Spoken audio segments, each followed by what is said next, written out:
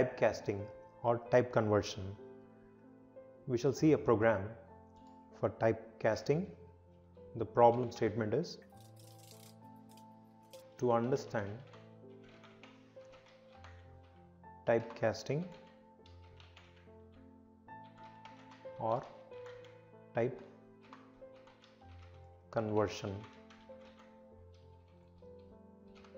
typecasting or type conversion hash include stdio.h int main. So within this I'm writing a variable int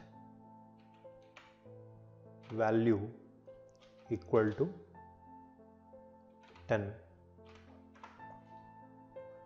and I'm initializing one character ch equal to a.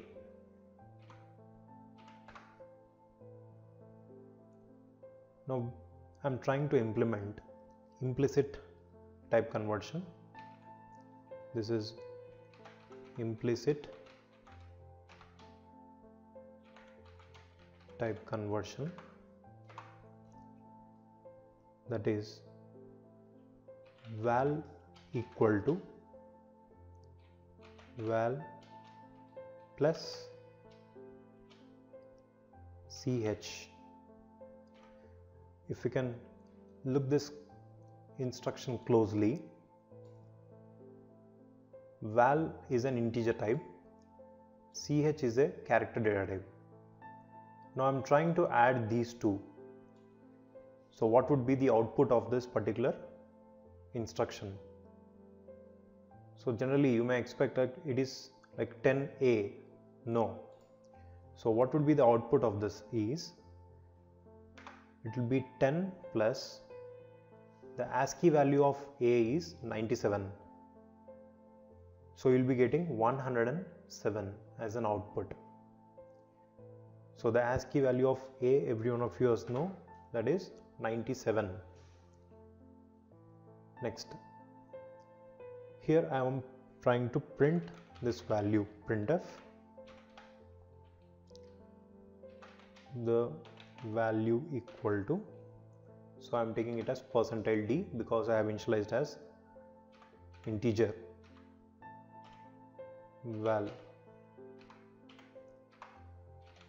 return 0 so this is for implicit type conversion where your compiler is taking care in converting it. The val equal to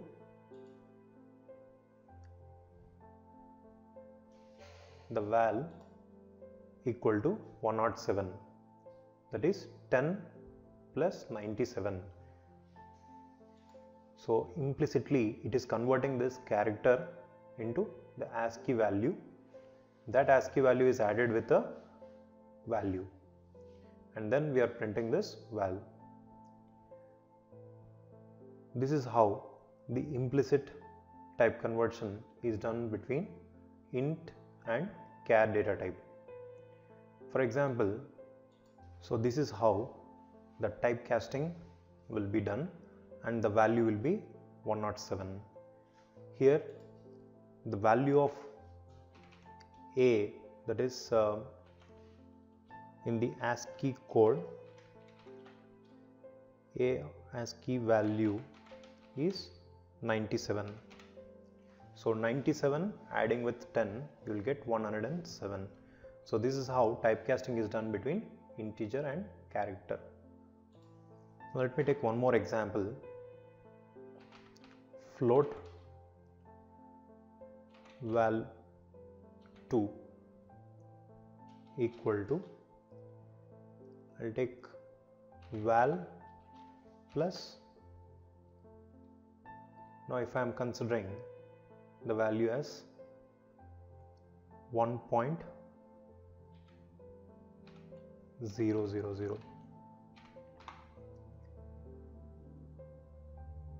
now let me print the value of printf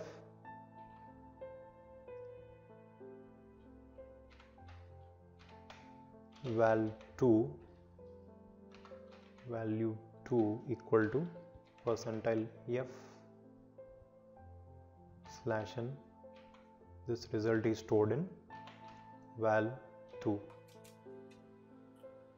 so val2 is 108 so this val is updated with 107 plus 107 plus 1.0 this is added and we are going to get it as 108 so this is how x whatever the value we are trying to store that is implicitly converted to float.